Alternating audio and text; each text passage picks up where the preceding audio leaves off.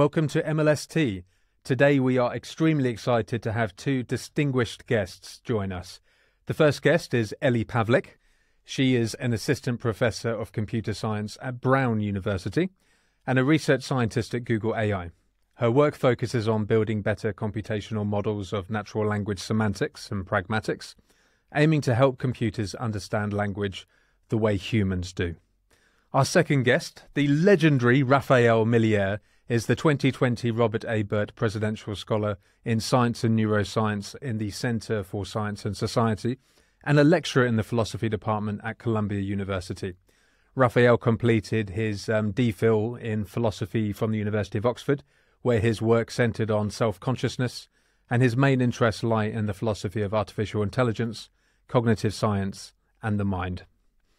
Now, this is an interesting experiment for us. We've decided to get these two heavyweights uh, just one on one having a conversation with each other, and we're hosting it here on MLST.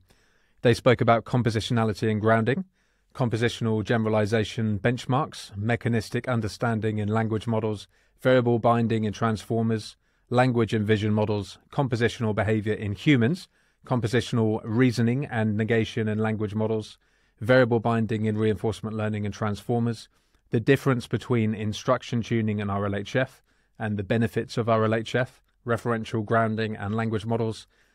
And yeah, the Chomsky skepticism, of course, you know, our friend Steven Piantadosi's paper, inductive biases and language uh, learning, language models in different languages, and indeed the future of academic work in language models. Now, the audio from Raphael in particular wasn't as good as it could be. I've done my very best to process it and improve it just to help folks follow along, I've kind of generated some subtitles. The subtitles on Google are absolutely rubbish. Um, speech recognition technology has come along so far in the last few years. So I've generated some better subtitles using another service and I've superimposed it on the top. I've also superimposed some descriptive titles on the top just to help you folks follow along at home. So, anyway, without any further ado, I give you Ellie Pavlick and Raphael Milliere. Enjoy. Hi, Ellie. I know, Raphael. Hey, how's it going? I guess you you talked to Tim before, so maybe you have a kind of more of a context of the previous conversation that started this one. So you, I'll let you decide where we're beginning, what the first topic is.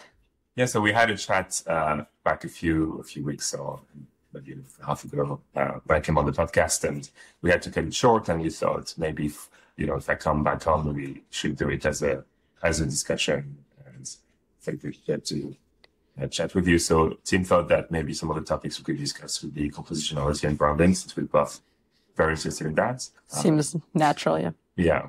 So I don't know whether we should we should try to to disagree more than we actually do because I think we we're aligned on a yeah. lot of these topics. But uh, you know, I'm sure there are some yeah, topics. But I, yeah. Right. I mean, I also feel like for both of them, I'm like I know what I currently think, but I also am pretty prepared to just have to renege in a couple of years and be like, I was wrong. So I feel like I we we can see both sides. So we can definitely simulate some disagreement, or we can we don't have to disagree, but we could argue both sides of whichever issue.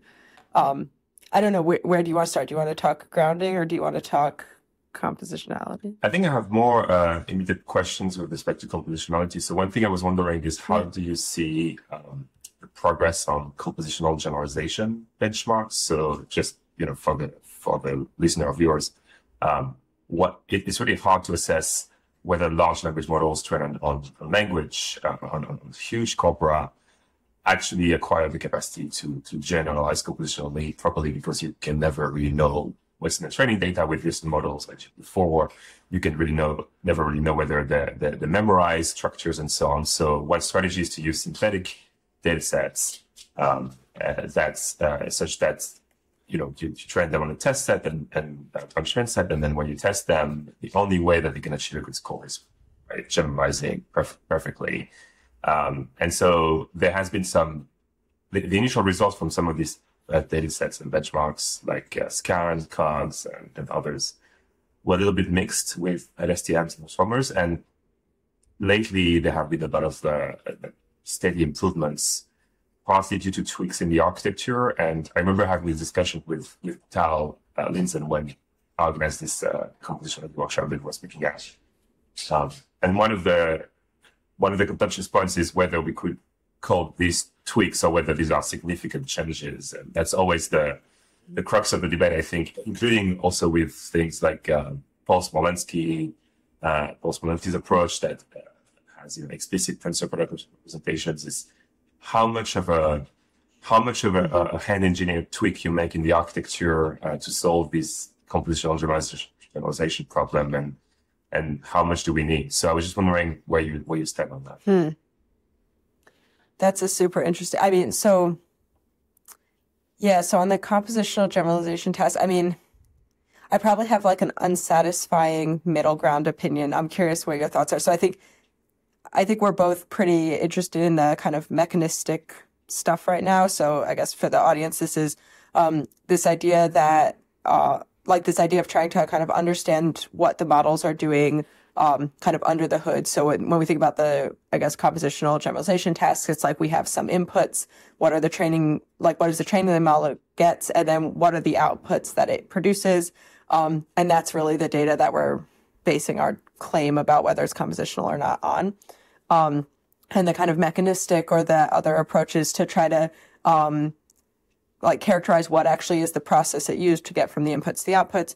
Um, I really like uh, Chris Olah, who I think coined the term mechanistic, uses the phrase of kind of trying to understand the source code of the model. So it's like you have, um, you want that kind of something like a kind of human understandable description of the algorithm that it's running under the hood.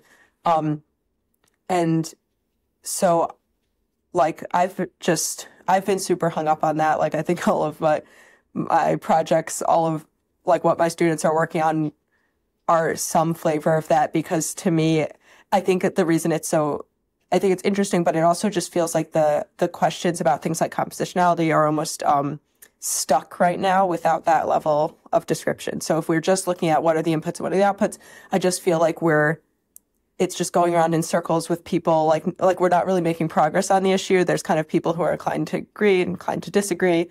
Um, and so, from my perspective, like, okay, so if we have the model that's doing this kind of, I guess, quasi generalization, it's like succeeding on some cases. It's not perfectly um, compositionally generalizing in the kind of really abstract case that those data sets tend to be going for. Um, but it's doing something in between, and we're trying to figure out whether that counts as um, compositional or not. It seems like that just hinges on what it's actually doing under the hood and how it's doing it. Um, so I guess I'm like, I'm like, basically like, like neutral on or not paying attention to compositional generalization data sets right now. And I recognize like a very fair criticism. And I feel like when I've talked to people like Tal, probably have this where it's like you can't just sidestep the issue. It feels like being overly generous to the neural networks, right? It's like they're not doing that well, and then you like change the game a little bit, right? You're like, oh, well, that's not even the metric we care about. That's not really what I would see as the goal. It's just like in the immediate term, it seems like first we want to characterize what's happening under the hood, and then we can come back to those data sets and understand them much more in depth. And then when we see how they're solving it or not solving it, we can like it gives us a much more concrete thing to analyze and try to ask whether that counts as compositional or whether that's at all human like if that's what we care about. Um, like it like i guess to me it feels like a dead end if we're not allowed to comment on the procedure that happened in between. And right now we can't comment on the procedure that happened in between inputs and outputs because we just don't know what's happening there. So i don't know i guess that's my current take on compositional generalization data sets is i'm like now is not the right time for them. We'll come back to them later. Um, which I recognize seems like a dodge, but it's not meant as a dodge. It's like basically we'll come back to this later. Um, yeah, but I'm curious what you, what you think about them. Yeah, I mean, I'm, I'm very sympathetic to to that view. Mean, as you know, I'm super interested in the mechanistic reproducibility, which is to to to looking at compositionality. And I guess in the background, there is lurks this this debate about uh, whether humans themselves have something like a a perfectly compositional language of thought or, right. or something else, right? Um, Absolutely. And um, and so perhaps you know we might we might learn some things about uh, computations uh, implemented in human cognition by looking at these imperfect uh, compositional systems. Absolutely. I mean, I think that's that would be really my hope because like so right now, and this is a gross oversimplification of where the two viewpoints are, but like the two really concrete like uh um kind of options on the table for like what a system can be is like this pure symbolic language of thought and that the language of thought it would be something like humans in their heads have something like a python programming language like a perfect kind of formal system for reasoning over symbols in this compositional way. Or it's like this um, loose or like these um, associations these idiomatic kind of just things mapped together. And like i think most people would assume we're something in between. And there's not like a really good proposal for what the in between is, right? Like there's all kinds of ways of being in between those two things. And so I feel like whatever we find in the neural networks gives us some kind of concrete proposal. Like here's an example of an in between. It's not the language of thought thing. They're also obviously not just giant lookup tables, right? They're doing something more than that. And so whatever they're doing in between, it's at least like a candidate for what could be happening, right? That's pretty exciting. And it might not be the right one, but at least it's something because I haven't seen like a really satisfying candidate for what the in between is, right? Like a lot of the debate still seems to kind of put these two straw men up against each other. Yeah, I agree. And um, I think some, even some of the people who are pushing back against this kind of uh, purely symbolic language of thought architecture, like Paul Smolensky, they still think that you need to build into your connections model some more explicit uh, compositional structure with these uh, right. tensor product, but these these vectors, like role and filler vectors that are near orthogonal that you can combine with tensor product operations. And there are other uh, vector symbolic architectures like this that do it like that. And uh, my qualm is always with with this, and I have talked with Paul about this. And uh, I think you know he's open to the possibility that perhaps transformers you know, handling compositionality in the way transformers handle it might turn out to be enough, perhaps. But my qualm is that if you if you build, you know, if you, if you kind of hard code into your uh, network architecture, or, or you do some feature engineering to have the the uh, input vectors be near orthogonal, that seems just to be ad hoc to me, right? So you need to specify mm-hmm. what are the roles, what are the fillers, and that's yeah. that seems like an, an implausible model for how cognition works, unless you want to say that they are innate atomic concepts and we just you know are born. I mean, a lot of people do. Yeah. Right. That that's like a a claim that I think a large fraction of cognitive science is very happy to say is the case is that there's a inventory of innate atomic concepts. Right. Right. Um, right. But but yes, I agree. I think maybe it's the computer scientist gut or something. Something about that is unsatisfying, or at least you want a story of where those came from, which still seems like you somehow it needs to emerge or come from data or come from some kind of pressure other than just we got lucky and they were there by chance right. the right inventory of concepts. I mean there's some daylight between the core knowledge view that you know there are some some basic you know, concepts and, and the Fodor view that all atomic concepts must be in it because uh, right. Yes, we're just born with yeah, this, yeah, this repertoire of atomic concepts and they're unlearnable. Yeah yeah. Um, right. and it seems that if you if you want to handle all compositionality with these ad hoc role and filler vectors or something along these lines, then you, it seems like you're going in that direction. Um, and what I'm excited about with transformers is that it looks like they can do something that, in my mind, if you look at mechanistic interpretability literature, looks quite like variable binding. Uh, mm-hmm. by reading and writing information to subspaces of the main embedding space and using that as a virtual mm-hmm. content addressable memory but it's fuzzy, right? It's not just implementing mm-hmm. a classical symbolic architecture because that's always the charge that I think the the, the classicists are, uh, you know, mm-hmm. against uh, the connectionists is that oh, if your if your model is working well and if it's if it's uh, a good model of human behavior, then uh, presumably it's just implementing classical symbolic architecture, and it's right, right, right, right, right. I mean, almost I, we're I'm uh, teaching a class this spring on language processing in humans and machines, and we were talking about this question of um, implementing a classical architecture, and it's actually quite uh, hard to tell, even in the historic debates on this, like what what people are even claiming about this, right? Like, there's like simultaneously claims that like, oh, it'll like sure it can implement it but also nothing it ever does would ever count as an implementation. Like i just can't even tell what the what actually the consensus is.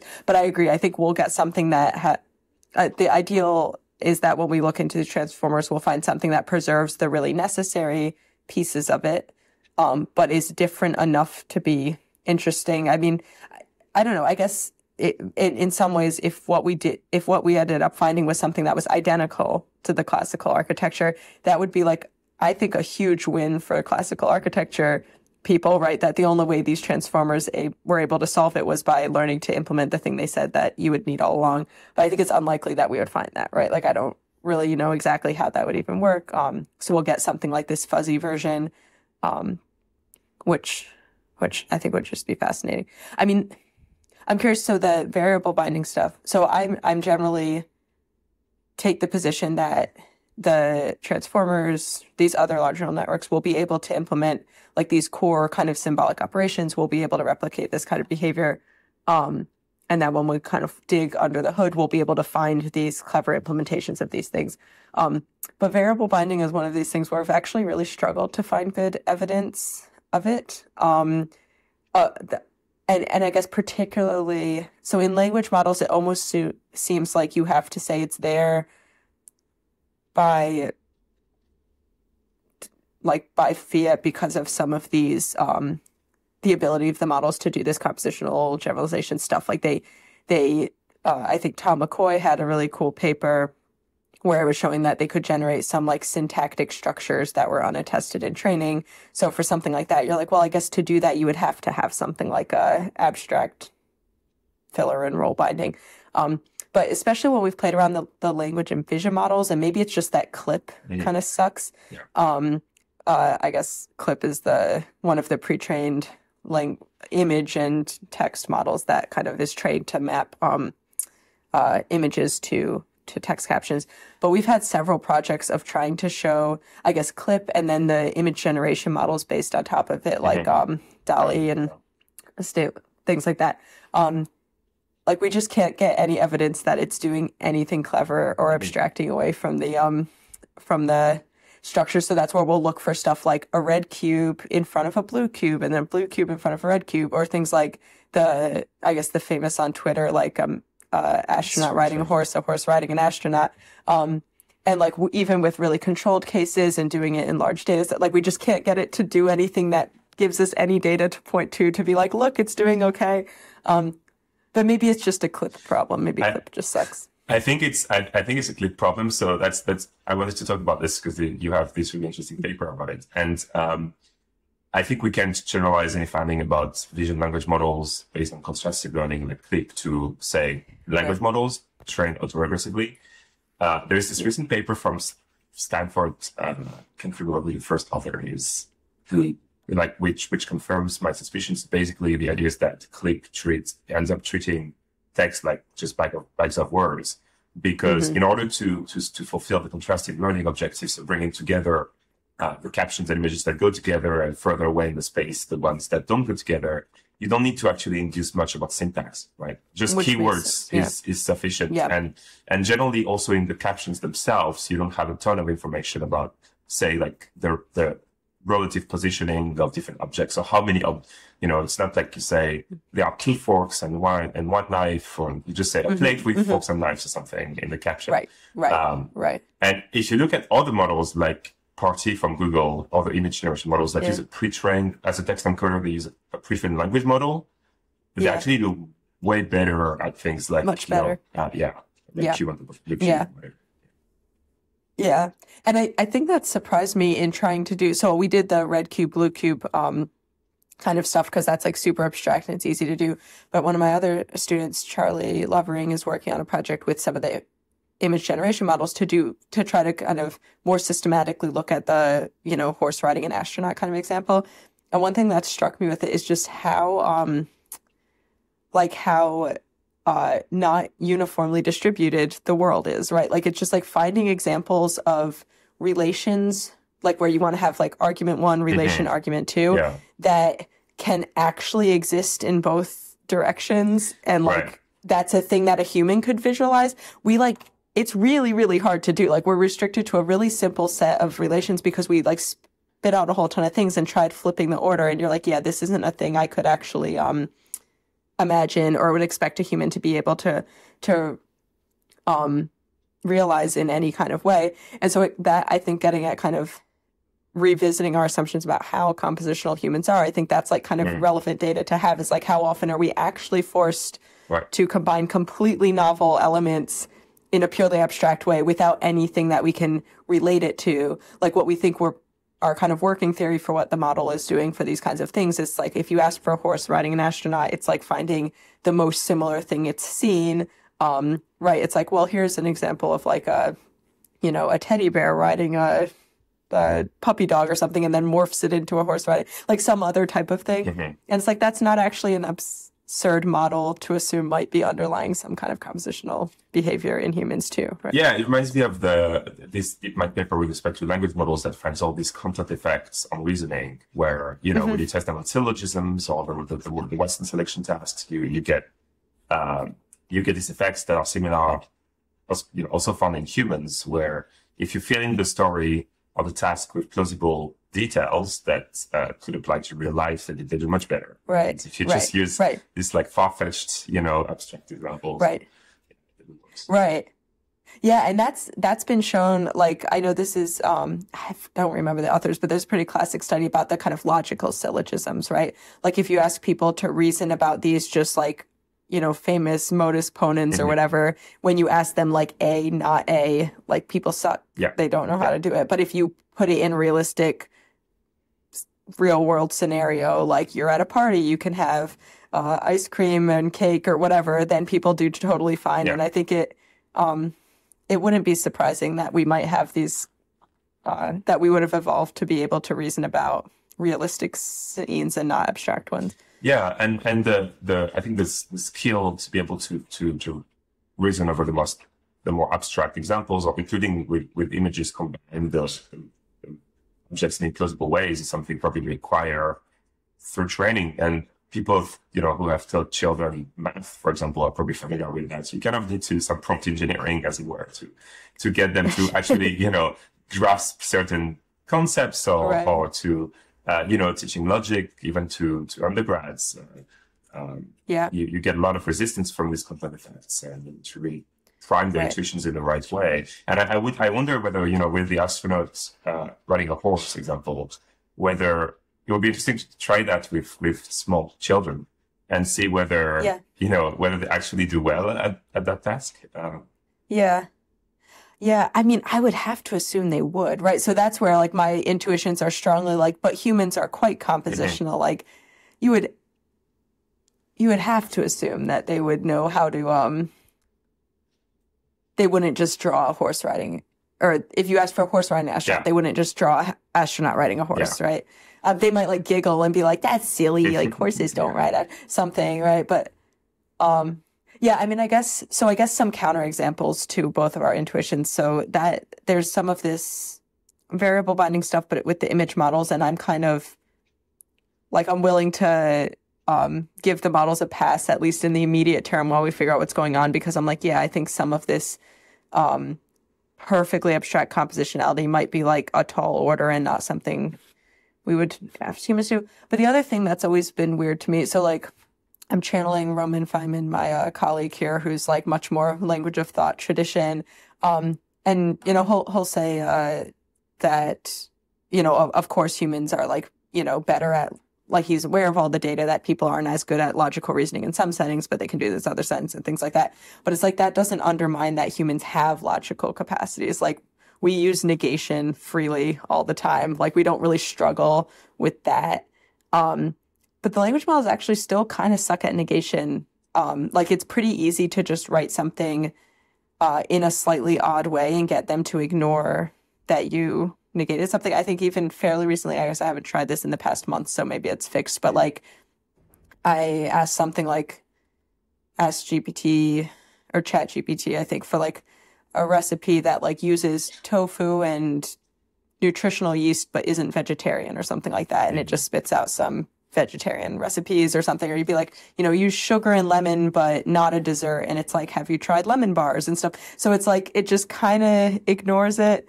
Um, and that's weird to me because Yeah. that seems like for a language model doing a language modeling task, like that's relevant. Like that's not, this isn't like a super trick out of distribution thing. Um, so that's kind of like, I guess, a, a thorn that like I feel, and that's where I say like I have a bit of a caveat where I ex- I wouldn't be surprised if a couple years from now I have to be like, yeah, I was wrong. The models are not at all like human like or something. I'm hoping that's not the case, but these kind of data points are like, yeah, that's it's frustrating how bad they are with negation um, or other kind of basic things like that.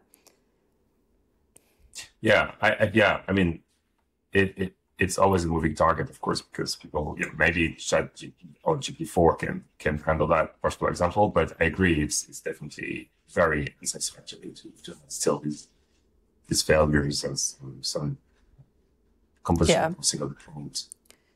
Yeah, like we have some, I guess, uh, so on one of these projects with Roman in this undergrad, we're working with Alyssa.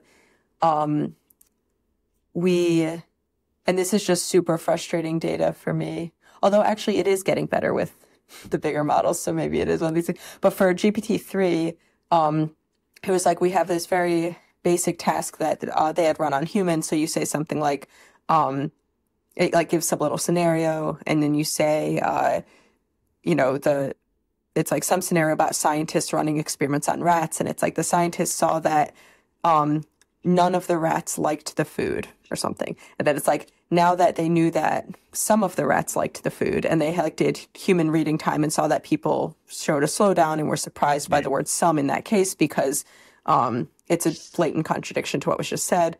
Um, and when we use like GPT-3 and predict surprisal, there's like no surprisal whatsoever, no suggestion of any of being at all bothered by the word some in that context, which is weird because that's just a straight up language modeling task. It's just what is the probability of this word in context, which the human data was very clearly like it's low. And the um and the model was like it's fine. And then but then we had we tried with GPT-4 and then the numbers it looked better, but it was kind of messy because we can't get perplexities out of GPT-4. So you had to ask it to fill in the blank. It was a little bit different, so it's like hard to read API into. was, was just the ChatGPT version or Um, the with GPT-3 we had the API. because now GPT-4 is Um, available via the API as well. So Yeah, but it doesn't. We need to check. okay. Yeah, we need to check. Last we checked, we couldn't get perplexities Okay, out. right. Like we had the API, but you. Ah, yeah. I see. I haven't tried. Um, okay. Yeah. Yeah, Yeah. but yeah, it's That's it's one of these weird things. Yeah. Yeah, and so so like maybe GPT four is better, but it wasn't as clean of a s- comparison to the humans, and um, and it was even for a model like GPT three, like it was surprising that it was so bad at that, and like I don't know. So I feel like there's a few of these data points that are like uh, this story isn't a slam dunk. Mm-hmm. Like there's some of these things that really should be easy for a model with basic structure. Um, you know, Yeah, it's surprising to me because there are, you know, these studies from Tal and others showing that even way smaller models um, can exhibit the, the, the, right behavior in terms of surprisal when you look at things like subject verb agreement or filler gap dependencies, you know, and constraints on these, and, you know, a wide range of syntactic Mm-hmm. Right. phenomena. And they exhibit the Right. same patterns as humans in terms of being surprised when the, Right, the verb doesn't agree with the subject, things like that. Right? Even when you yeah. throw in attractors or distractors to, to confuse it. right? Um, so why is negation? Right, totally. so- Totally. It seems much, much simpler, right? Like it's not like it, if anything, I feel like negation plus these quantifier terms, like you could just enumerate a table and say these things can go together and can't go together. Like it, I mean, there's like a little more semantic cushion around it. You have to know who the, who's being modified or whatever, but like I'm quite sure models can do all of that. So I was very surprised. It might be just that it's a really infrequent thing in the training data, in the input. But then you have this poverty of the stimulus argument that you have to account for, right? Is like, um, I mean, maybe it is that this kind of entailment relation is just not frequent on the internet, but it is in kids' input, or I, I, you know, I don't know, or maybe it is that the models are just not the right models for this task. I don't want to believe that, though. I think there's must be some other reason. Yeah. Yeah, I mean, there was this paper by Will Merrill that shows that uh, entailment semantics can be Yeah. induced by an, an idealized, Yeah. you know, an ideal language model uh, Yeah. on synthetic data uh, up to a certain sentence length. Uh, in, in, con- Right. in, in, in real in, in real world uh, scenarios, there's only given the size of Right. GPT-3, I think perfect entailment semantics could only be induced to this formal proof up to sentences of four words. Um, but but if you want perfect, absolutely, you know, perfect. Right, right, right, You, you exactly know whether Yeah. one sentence and the next entail each other. Right. Which I don't know that I believe in entailment as a thing, right? Right, Like I just like there's it's like the logic stuff. You're like, okay, we can come up with these like toy domains in which we all agree about entailment. But like during my PhD, I did a lot of work on entailment and just trying to collect entailment judgments on humans Right. is a nightmare, right? Like they do not behave to the point that you have like Yeah. that's what I feel like that was like a switching point for me where I was like, okay, maybe maybe I should accept that they that we have to trust them on Yeah, what yeah. is entailed or not. And they assume Yeah. idealized Gricean speakers as well, which you know, humans are not. Yeah. Yeah. No, not But it's it's, it's intriguing because it does suggest that I mean you can learn something about entailment semantics from distributional information. Yeah. Uh, even you know entailment is in a looser sense, like in a non-perfect right. Sense. Right. So again, why is negation so hard? Is is, uh, is Yeah. to me. Yeah. Yeah, I guess I haven't seen a really good study on just the distribution of negation in the like in a model's training corpus. Like how is it used in what context cuz I don't um yeah, like I, it might just be that it's actually it's just not distributed the way we kind of think it's distributed. It just functions very differently in written text in general. Um Yeah. right? Like I do think that perhaps kids would learn it. Like kids get a very different input of negation than what I would imagine is on the internet, right? Right. Like I in academic writing, I use negation only in the most convoluted ways, like like it, with like these triple negations Yeah. that are right. You know, like while it is not unreasonable Yeah. to assume that such is not the case, right? Like Yeah. that's the way I would use negation. I wouldn't say like that's not a dog. Yeah. like no one writes that.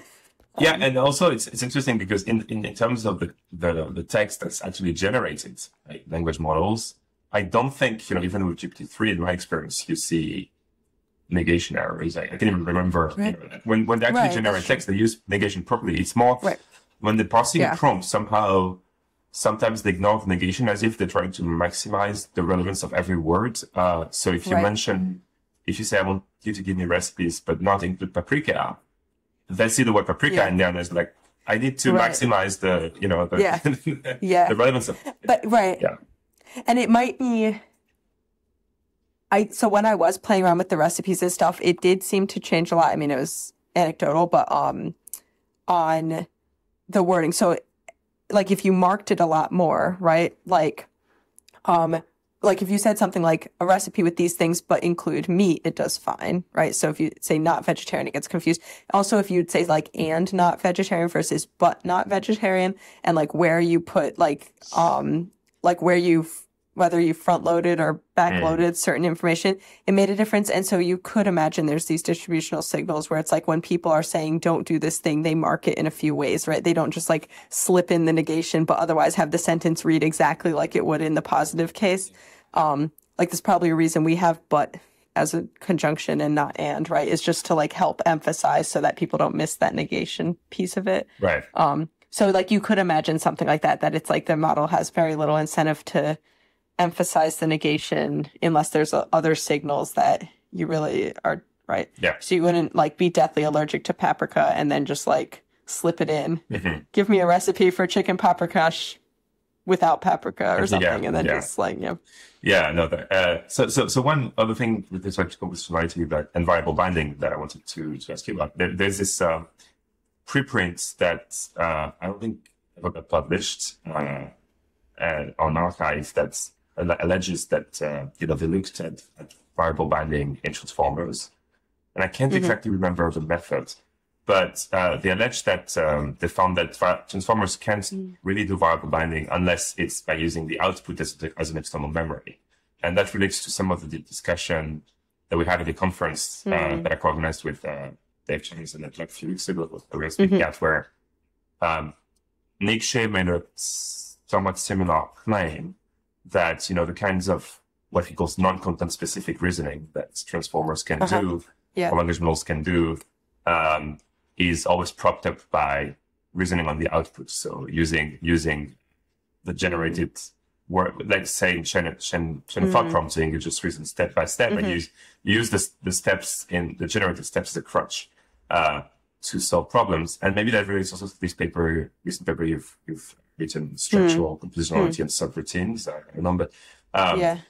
I haven't yet had a chance to read that one, but, but, uh, I just wanted to ask you because I, what, is striking to mm. me that you, you can do some things zero shot with current language models that seem to fly in the, in face of that kind of thing. So for example, with GPT-4, uh, you can, you can tell it's behave like a Python shell uh, mm-hmm. and mm-hmm. then define a function with a bunch of variables, and then a little bit later in the in the interaction, just you know call that function for specific values, yeah. and and say you know, and because it's behaving like a Python shell, it just has to give the answer zero shot. It's not able to do some yeah. chain of thought or whatever. It just has to right. really, and it can do this pretty reliably. I mean, right. there's some failure modes, but the fact that it can do it at all suggests to me that it can it has to be able to internally, uh, right, you know, manipulate the variables. Absolutely. Yeah, I yeah, I love that example that you gave in the workshop. Um, so at this philosophy of deep learning workshop, because you had that like you had it behave like a Python shell and do this Fibonacci sequence. Prediction. Yeah, so I called but then we just functions. ask the language model, like we just ask the language model to predict or to tell you the you know seven hundredth mm-hmm. Fibonacci number, it messed it up, right? Yeah, so that was did, like yeah. super interesting and yeah, I guess the thing we like fight with with these models is that they're, you know, they're like we do know that they have that they've trained over the whole internet, and so they've learned to like kind of subspaces, right? And they're like drawing from these different domains, and it's makes it really hard to interact with them because they can always from anthropomorphizing, but they can always pull this like, oh, sorry, I didn't understand the question game, yeah. right? Like I thought I was being my Reddit self, but it turns out you wanted me to be my New York Times self or something. Like, and it could always pull that. So it could be like, oh yeah, no, I know how, but you have to ask me to ask, act yeah. like a Python shell because people on the internet don't know the Fibonacci number, right? Yeah. Like, and this is a little bit of like, for the for the critics of large language models, this is a frustrating game to play because, like, like this is always a move that the proponents of language models can make is like, oh, you didn't ask it right. Like it knows how, but it blah, blah, blah. Um, which is really why I feel like the mechanistic stuff is so important because if we know more about it, then this becomes like less of, it feels less like you're sidestepping the criticisms and we can just say what actually happened. But I do think, um, that right now that is the case, right? Like it could be that they have the ability to find variables and do this stuff, but just they, uh, have deemed that that's not the right way to solve the task in the average case or in a typical case. Like maybe negation yeah. is not important for the typical thing, but if it if they're acting as a Python shell, then of course negation is important, right? Yeah, and, I, and I'm really interested in the role of, of RLHF fine tuning in that context, so reinforcement learning for yeah. human feedback, because it looks it looks like it's it's vastly improving the zero shot capacities of the model, and I think there's of evidence that it ends up, you know, uh, condensing the probability mass of uh, you know, the distribution of over over the next word for to, to a much more narrow range, uh, such that you know of just a few words will have a high probability for certain for certain prompts because it's it's essentially enabling the model to to latch onto the right uh, task right, right away, right. right. Instead of having to do this. I mean, still, as right. you said, it still happens all the time. Oh, sorry, I didn't uh, yeah, get yeah. your question right. But if you ask a question zero shot to Vanillab GPT-3 without an HF, uh, it will way more often just have no clue what you're really asking it. And you have to right. like massage oh, yeah, yeah. the prompt and totally. Yeah, yeah. Yeah. Yeah. I like to use I like that um uh OpenAI recently re-released their like the old school uh, GPT-3 because you can see what a big difference even the instruction tuning makes. Like, right. um, my favorite is if you ask something like write a report on uh, the war in Ukraine or something, um, it'll like follow it up as though it's like in an email and it'll be like, please include additional like details on budgets and blah, blah, blah.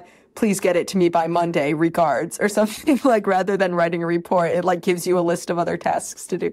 Um, but yeah, so there's clearly like, like the RLHF clearly improves zero shot or at least in, even instruction tuning. Something I'm, I don't know, maybe you've thought about this more. I know we talked about this like briefly before. Like, just I guess I'm I'm still getting my head around what RLHF is, or in particular, how it's like, if it is profoundly different from other types of training, because I feel like in some cases, like I've heard a lot of people kind of crediting RLHF as like possibly like, oh, we have all these problems. with um, with large language models, but maybe RLHF alleviates them. And I can never tell if there's like a genuine feeling that it does, or if it's kind of a this is a new kid on the block and we're not sure. So to kind of hedge or future proof whatever claims we're making, we add this caveat that's like maybe RLHF uh, alleviates it. Um, or maybe it's that like RL in general, RL is associated with like grounded and maybe more cognitively plausible learning in certain domains. And so people right. hear the RL part and think that it's somehow better. But I ha- I'm not quite sure if RL is like, RLHF is like deeply different or if you could induce the exact same behavior through something more like an instruction tuning setup. Um, like I genuinely don't know which of those things is going on, and I haven't heard. Uh, like I know there are people trying to come up with a fine tuning variant that otherwise behaves the same as RL RLHF because yeah. RLHF is unstable and people don't like it. When I Brown has a lot of people who work on RL and they look at RLHF and they're like, this isn't even really RL. Um, because it's weird and it just seems like you've kind of like folded more language models on top of each other. Um, so so yeah, I just I don't know how I feel about it, and my gut is to be like, no, it's not special. It's like the same stuff in a new package, um, but that's based on absolutely nothing except vibes. So I don't know. Yeah, I, I mean, I do share my intuition with respect to the difference between RLHF and instruction tuning, because it seems, you know, if you look at uh, what people did with the Llama model from AI, there's just generated yeah. a bunch of, of, you know, input output pairs with GPT-4 or something mm-hmm. to create the, uh, what is it, mm-hmm. Vicuña or um, alpaca. Yeah. yeah. So yeah. so they they all of these camelid animals. uh, so they they yeah. So they generated essentially the instruction tuning uh, train set uh, from models that had benefited from RLHF, and then you kind of get the benefits of RLHF right for free, uh, right, uh, or for a few hundred dollars, and right. Uh, and so it seems that actually this works pretty well, right? So right, so maybe I don't know. I mean, it could be I'm, I'm just pure speculation, but like it, that could be the case. And RLHF is special. It could be that RLHF allows you to optimize for a function that you can't directly optimize for with next word prediction. But if you have an RLHF trained model, you can then distill that function, like the neural yeah, yeah. can then directly yeah. something like that. Uh, but, but, I'm but almost like I, I want to say that RLHF doesn't even optimize for a different or specialer function. That like you could just take the data you get from RLHF and just use it differently and like fine tune on it or something. Um, I mean, that must not be the case. So, like I said, I'm like purely speculating, but that I think yeah. that's the intuition that I'm just like deeply wanting right now is like, is there something special going on? Um, or is it just we found a different way of getting somewhere? Um, like we kind of stumbled upon it and we could actually get the same effect and and it's I feel like it matters. It matters from an engineering standpoint, but it also matters because I just hear RLHF. Actually, I would like to talk to you about that because you like mentioned it in your grounding paper, like and I've heard it a, from a lot of people. Um, like uh, Ev Fedorenko uh, had a paper on kind of disassociating language and thought, and had all these yeah. different criticisms of large language models and the things they can't do. And then at the end, it's like, but maybe RLHF solves all of this. And I was like, whoa, that's like a huge, yeah. but I don't know. And so, and I, and I've seen similar things elsewhere. And so I think to me, I'm like, I'm just deeply curious if that's the case. Like, I, I think I'm lacking that intuition. Yeah, no, absolutely. I mean, uh, that's first of all, let's see, let's transition to the topic. Yeah, exactly. So nicely done. Yeah. Uh, um, I, so just to, to, for, for the, for the audience, uh, the, so with, with Dimitri Coelho Mollo, we wrote this paper and essentially we said, well, people use the notion of grounding in different ways in the literature. Uh, a lot of this goes back to Harnad's symbol grounding problem from the 1990, um, uh, 90 and, in which he argues that symbolic uh, AI models lack the capacity to have intrinsically meaningful representations and outputs. Um, because you know the, the, the, semantic interpretation of of their representations is provided externally by the programmers. So SHRDLU, for example, it's a old school program that could manipulate blocks in the blocks world. Uh, it, it can link, it can connect its linguistic representations to virtual objects, but that connection is provided you know, ad hoc and externally by extrinsically by programmers. Um, and the problem is how do we get models that actually intrinsically grounded uh, representations of linguistic items where uh, here the key notion of learning is referential. So how do we get representations that are actually making reference to the, the objects out there in the world that they're about? And that problem has re- emerged with recent uh, connectionist models with language models and so on. And, and you've done a lot of fantastic work on that. And so we we were trying to um, pick apart different notions of grounding, say the referential notion of grounding is the most important one, and, and then say, well, in light of that, can we say that language models trained on text only achieve some form of refer- referential grounding? And we do mention RLHF because we basically the argument is is going from the perhaps the most plausible and convincing argument for most people to something that's a bit more speculative. So with RLHF, um, so the problem essentially is that with, with next word prediction, that's a, that's an intra-linguistic function, right? So you're predicting the next word, that's how it is pre-trained. Um, and that doesn't seem to give you quite the, the at least intuitively, the right kind of, of, uh, normativity for, for representations of, of the worldly reference of linguistic items, uh, such that you can have the possibility of misrepresenting something. Um, so in other words, you don't have it doesn't have to give you the right kind of world involving function. It's just you know whether you're right or wrong about the next token. Um, and RLHF, on the other hand, because you get this explicit feedback from humans, including feedback about uh, truthfulness or honesty. Actually, the three H's of RLHF is helpfulness, harmlessness, and honesty, right? So there's at least one of these, which is a normative component that's about that's an epistemically normative component. It's about whether you're if you're you know answering questions about capitals of the world uh, whether you're right or wrong about the state of the world when you say that Paris is the capital of France. Uh, so that seems to be world involving in the right way. But then, you know, we had this conversation uh, a few weeks back, and, and uh, as you rightly pointed out, it seems that, you know, you could get that the right kind of world involving function without this explicit feedback from humans. And we do actually think that that's the case. So, um, and going there from slightly less consensual uh, claim, we think that you can get in context learning, and then in context learning, you have a few shot.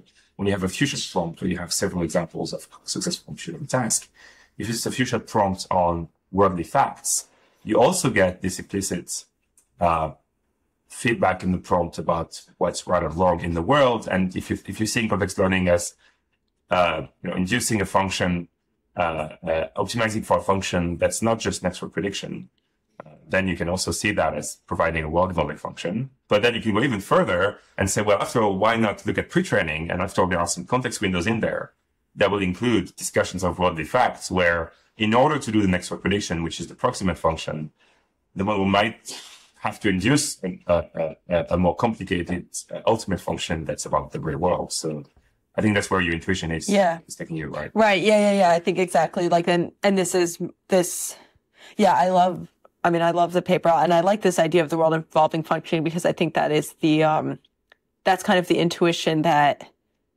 we all have, right? Like there, there does seem to be something that's not, uh, like I think it, mo- most people's gut instinct is like next word prediction over text isn't enough, right?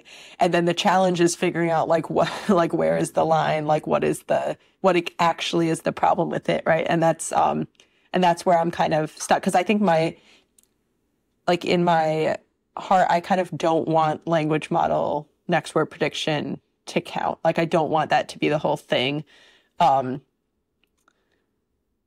and then I just like, and a lot of our own work, though, we seem to be arguing the opposite. Like, I'm not quite sure where I fall on this mm. issue. And so it's like, yeah, you want something like this, like this world of function or something about the learning mechanism, right? The learning mechanism doesn't feel like enough. You're like, no, obviously people do more, right? Than predict the thing that happens next. But then like formalizing what that difference is, I just, I haven't been able to convince myself. Like, I haven't been able to come up with a thing that I'm like, yeah, that's the thing I totally buy it. Like sometimes it gets on this issue of like goals. And I guess this actually came up a bit in the philosophy of deep learning debate. Like, you know, and when I talk to a lot of cognitive scientists and people who don't like the next word prediction language model, it's like, yeah, you know, people have goals, but that feels like a weird, um, because you can say that the language model has a goal and the goal is to predict the next word. And like, so now are we just like making a, a, a judgment about what goals count as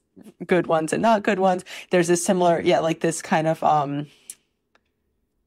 having the person give the feedback who is sufficiently tied to the world. And now it seems like we've like outsourced the question of whether the model is grounded to something about the trainer and the goals of the trainer, which maybe actually is fine. Maybe philosophically that's fine. You're like to follow along this causal chain, you have to have kind of inherited from somebody who's also on the causal chain. So I, I mean, I don't know, because like, yeah, if you had like somebody giving RLHF feedback who is like um in- intentionally misleading, right? Um, or or just confused and misinformed, like any of these types of things. Like, I don't know how that um, muddies the analysis of whether the model is now world involved or grounded, Right. referentially grounded.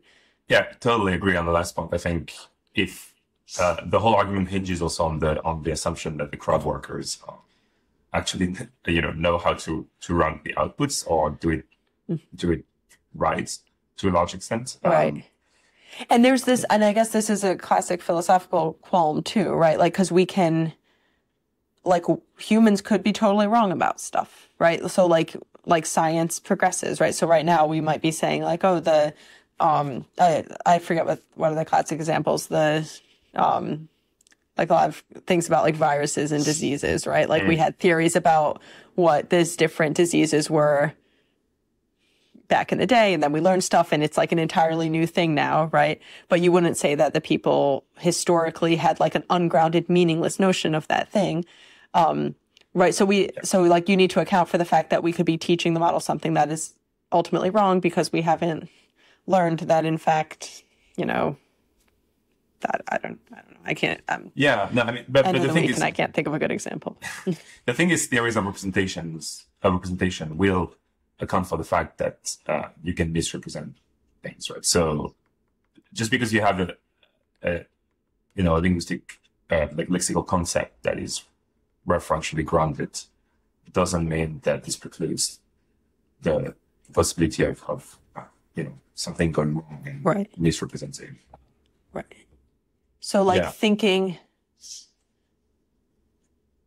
Yeah, and I guess this is kind of it's like so if the model thinks that the capital of France is Berlin, quote thinks that and it pr- produces that as output, um, I guess we need to differentiate between the case where it's just wrong and ungrounded in learning loose associations versus it was quote mistaken, right? But like that, Yeah. like because I I could not know the capital of a city, and like that, it's true that I don't have quite the right concept of that thing, but it's not the same as me being a parrot that's just spitting out Exactly. nonsense, right? And so I I don't think we quite quite right now. I don't know how we're drawing that line within the models Yeah. of them just producing wrong stuff versus Yeah, yeah I mean, certainly with, uh, I, I think perhaps with things like RLHF, you can draw that line potentially, but with pre-training, I mean, and I share your intuition that, you know, it seems, it seems, uh, you know, uh, we don't really want to draw the line at RLHF. It just, it just seems like the, the low-hanging fruit Yeah. because that's what's Right. going to Right, convince right, the most right, people. right. But,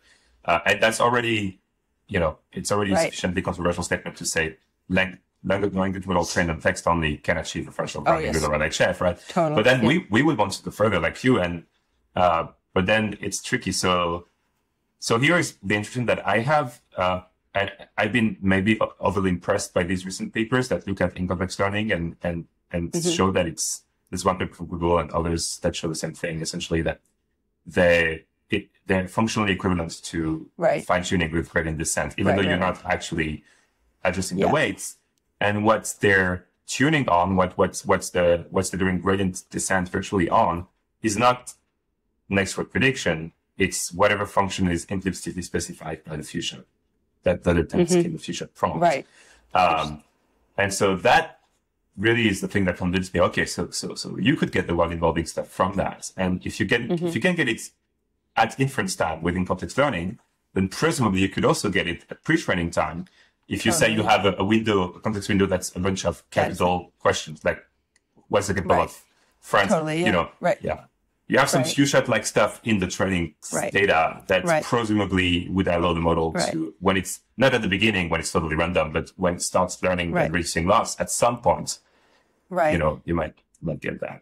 Yeah, yeah, and I I think this is where like I agree with that, and I yeah I agree with kind of calling out RLHF as possibly the a differentiating point because it's like an it's a a good thing to ground to as or not ground to to overloading the word ground. It's a good like uh, data point, right, to use, and then trying to peel away like what is the minimal thing, like what about RLHF gives it that, and but like that's exactly that logic you just laid out is what I, I think I accept right now or feel somewhat forced to accept, right, based on this. Because you're like, yeah, that seems correct, um, but then I have to go back to putting on the hat of somebody somebody who does not believe these language models because and I and I think it is important to point out that when we're talking about language models being grounded or having meaning, it's not the same as saying they are uh, conscious and intelligent, yeah. right? Like, but sometimes, but that's that's this kind of elephant in the room where it's like, where are we going next? And so I think when people are looking at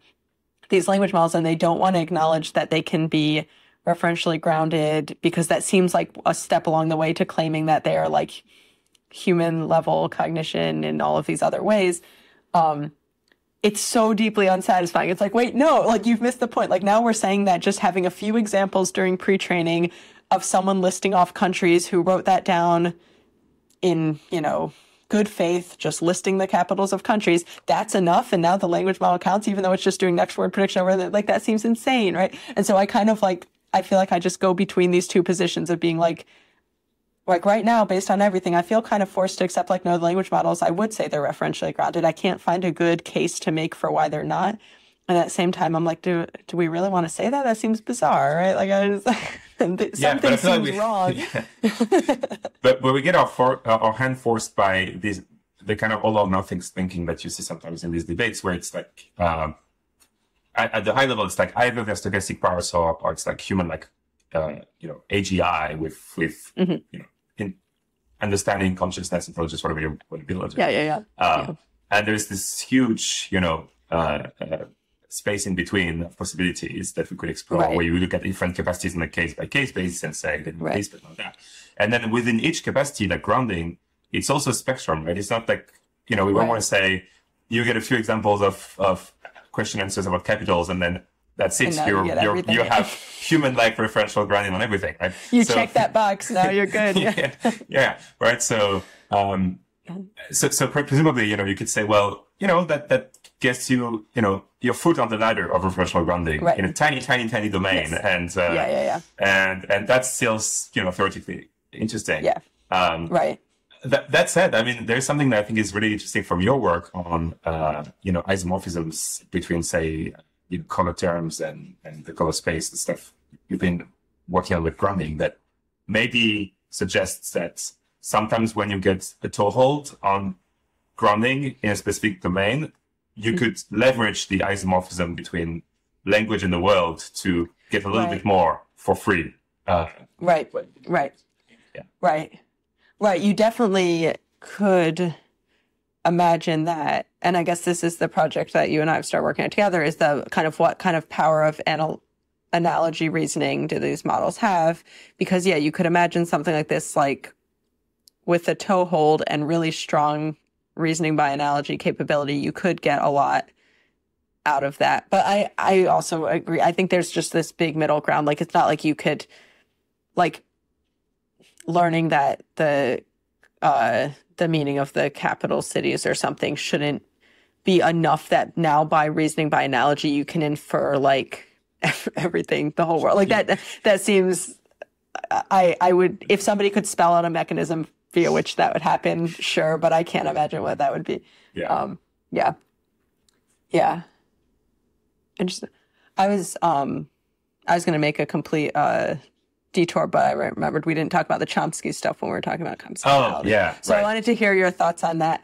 Um, yeah, I have some thoughts, but I would like to hear your thoughts on. Yeah. Yeah. So, um, so just for context, uh, well, Chomsky obviously has has uh, uh, been uh, writing about statistical models of language learning for decades, but he recently went on the records saying, as you would expect, that he's totally skeptical that you can learn anything whatsoever from language models about human language acquisition or human cognition in general.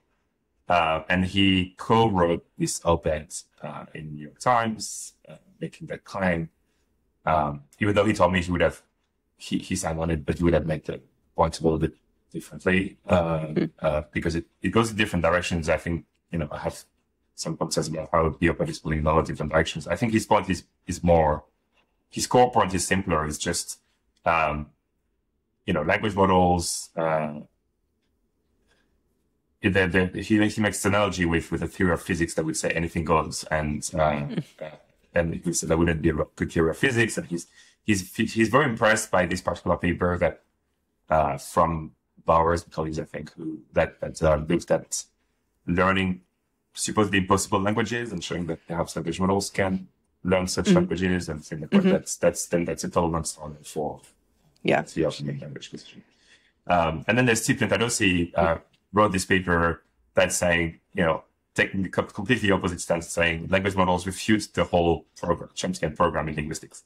Um, and I, I mean, I, so I, I stand in between, as as often in these discussions. So that's the, the Mhm. running thread. But I, I think there are, there's always room for positions in between the two extremes. Yes. Uh, so I think there there was this interesting interesting discussion that um, Tal Linzen and others were having on Twitter, where there there are two versions of the poverty of the stimulus argument that is used to, to justify the claim that there is something like an innate universal grammar in humans. Hmm. So there's a strong version that Chomsky himself did defend in the past, and that some people still defend, and even in very popular grammar, uh, like you know, generative grammar textbooks, which is syntax is just unlearnable from data. Period. Like no amount of data will will get you to learn syntactic structure because uh, having this kind of recursive, uh, infinitely productive system is not something you can learn from data. Interesting. I didn't Period. realize. So, so I think there is a good argument, and Steve makes a good argument for that being somewhat refuted by language models. Right? I mean, this kind of, Right. insofar as they can, you know, there is a lot of work showing that they can induce syntactic structure, uh, whether it's, it's uh, Yeah. it's syntactic phenomena, whether it's it's the subject verb agreements, uh, filling Yeah, up yeah. dependencies. Uh, uh, we can even decode parse trees from nations of BERT. I mean, so um, so that's a strong version. But then there is the the more, in my, my mind, more reasonable developmental version, which is well, look, children can do these constrained generalizations on certain syntactic phenomena, like at dependencies from a few examples from this impoverished stimulus.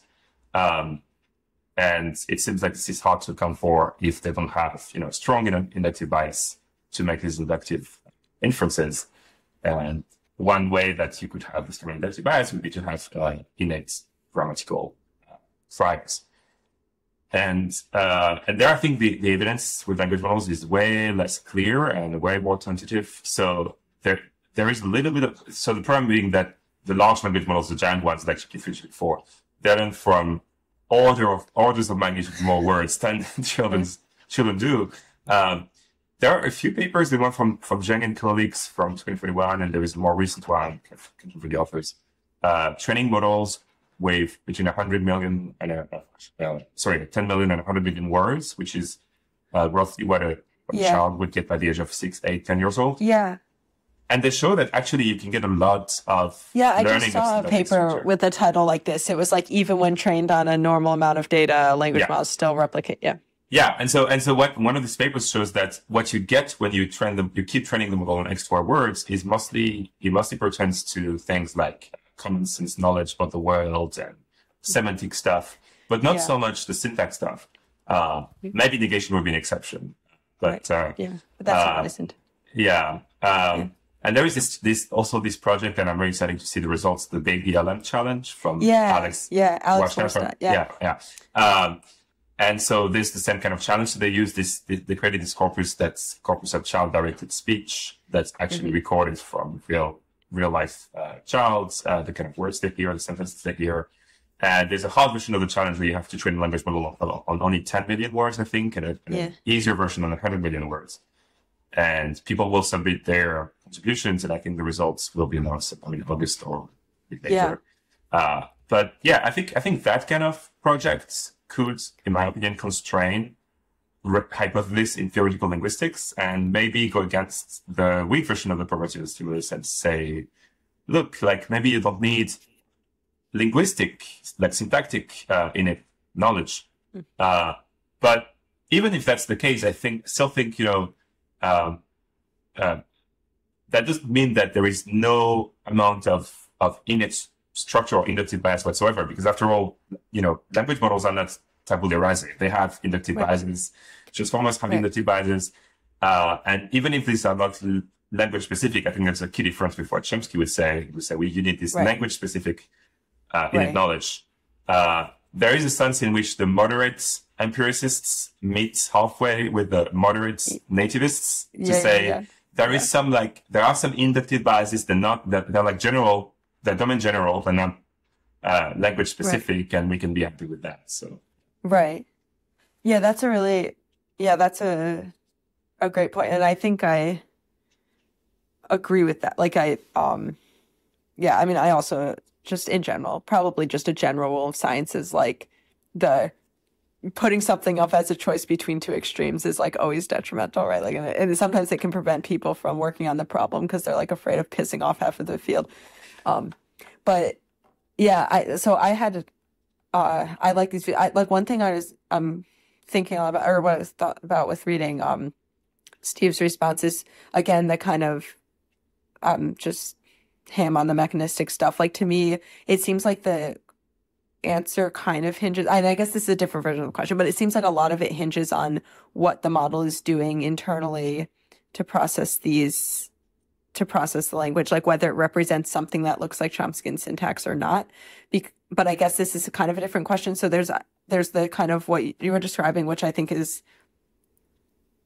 definitely like one of the important ways to be thinking about this problem from kind of a linguistics perspective, which is like take the blank slate language model and say how much data does it need to learn because it's definitely a super um, significant finding if you could replicate if like a transformer randomly initialized transformer trained on a realistic amount of child directed speech learn syntax like that's a huge finding right um, there's also this kind of like take the giant pre-trained language model um, trained on a, way more data than a human has, but then you can kind of use that as the starting point. Like that's the innate structure that a human has, right?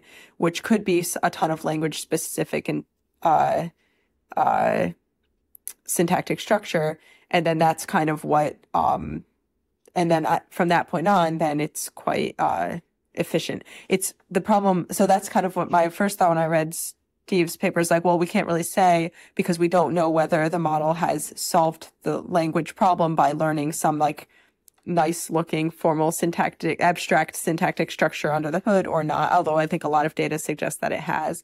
Um, but I guess it's it's kind of a hard question to answer because you can't do something like um, you can't then take that as the starting point of a language learner because it's already learned a lot of language. Like you would want some other way of like inducing that structure, but then stripping out the ability to actually generate language if you wanted to try to replicate. Like you would want to like find a way of like pre-training the model, getting all the innate syntactic structure, right. but then somehow reinitializing a large part of it so that child would have to relearn and then use that as to, to ask whether what the language model has learned is something akin to the innate structure that Chomsky would have wanted. I also, mm. I mean, I guess something you could do, because you mentioned like learning unlearnable languages, is like try to transfer a pre trained language model to one of these unlearnable languages. Because I, like, I always think of the, I've been thinking of the pre trained language models as kind of the, like that's whatever is endowed by evolution or something. That's the starting point. Yeah, yeah. Um, right.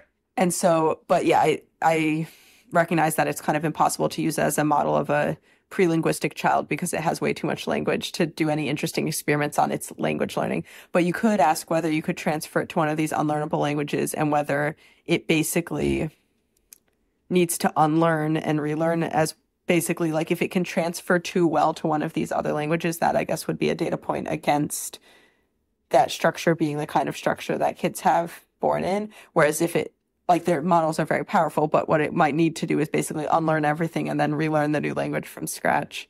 Um, right. and then that would suggest that it's like not. Yeah. It's not actually very learnable to the models once they've been pre-trained with this strong bias for other structures. Right? Uh, yeah. Although you need to show that uh, humans that this this made up languages are actually unlearnable by humans. That's right? true. right. and that's right. hard to do because you can try with adults and then it's like an L2 problem, like a second language. But if you yeah. want to try with as a first language, uh, if Right. that's how you set it in the, the, you know, if you think of pre-training as like evolution, Right. uh, and then you could say, well, whatever is done during pre-training could be the innate structure of Chomsky. And Yeah. so then you would need to actually, you know, it's an impossible experiment to do. You need to, it's Right. very unethical. You have to have a, ch- Right, a child right. grow up in this, you know. This Uh, so because like what is the data that those languages unlearnable is that no language has the features that this language has. I think so. They have this weird, yeah. I, I've, I've, Yeah. I haven't done a deep dive, and I think it's Yeah. very controversial. So a lot of people were unconvinced by that paper. Uh, Chomsky really latched onto that as you know hard evidence that we can learn nothing from language models. But uh, Right. Yeah, Yeah. I'm speaking out of my domain, but I so I would defer to someone who studies this, but my I see why it's controversial, right? Because there's like perhaps lots of explanations for why languages share common features other than those are the only possible features for the human mind to yeah, learn or something. Yeah. Yeah. Interesting. Yeah.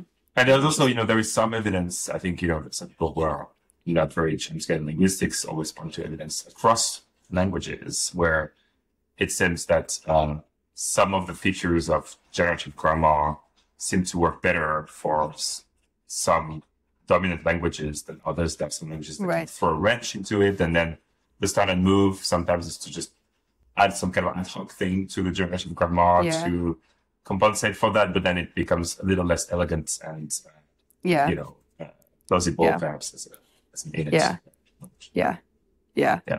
Yeah. I mean, I, it's kind of an un, or tangential point, but I guess there isn't as much work on these large language models in other languages, right? Like, I mean, there, there are multilingual models and stuff, but that's definitely some data points that would be good to know. Like we talk about transformers having some, they do have inductive biases and things like, I don't know how well they work for other languages. I've never seen a good controlled experiment because just the quantity and quality of data we have in different languages is like so varied that you just can't say anything when the models are better or worse. And, um, but that definitely seems like uh, from the perspective of asking what do these models mean for the Chomskyan program or universal grammar and stuff, like it seems like we need data on how they work in cross-lingually. Yeah.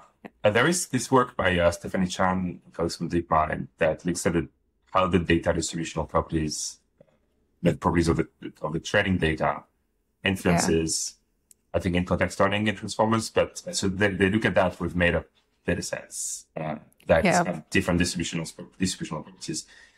And they find that the, the, the typical distributional properties of languages that seem to actually be, there is work showing that is, you know, there's a Zipfian uh, Zipf's, Zipf's law applies across across basically every human language, and so it seems that there is something in common in the distributional properties of all human languages that transformers can latch on. Uh, Yeah. Yeah. Interesting. Interesting. Huh. Yeah. Yeah. Luckily, there's still lots of stuff to think about. Like, I feel like sometimes it's like, oh, all the problems are being solved. These models keep coming out and doing all the tests. And it's like, oh, God, no, there's so many. Like, I think we still have careers ahead of us. That's good. yeah, and in a way, it's NLP good because you know people freak out about uh, the fact that all the big models now are being trained by industry, and therefore it's taking away from academia. But I think all of the a lot of the interesting problems are actually things you can only do on small models anyway, like mechanistic Oh, yeah, capability, and so in a way, there is a nice division of labor. Yeah. I actually, yeah, I've, like, I work uh, at Google 20%, and I've said a couple times, like, all my most interesting projects are the ones at Brown, because, like, I actually think the small toy data, things like that's where I feel like I'm learning stuff. I'm like, ah, it makes sense. That's how things work. Like, it's so exciting. Okay. Um, so, yeah, I I feel good about academic work on this stuff right now. Maybe that's an optimistic note to Yeah, end the to end on. Yeah. yeah. Yeah. Uh, thanks a lot. That was that was really, Awesome. This is really fun. This is a lot of fun. Yeah, we killed, uh, I guess I have my timer going almost 75 minutes. So it's pretty impressive. Perfect. Yeah. Hi, Tim. Hi, Tim.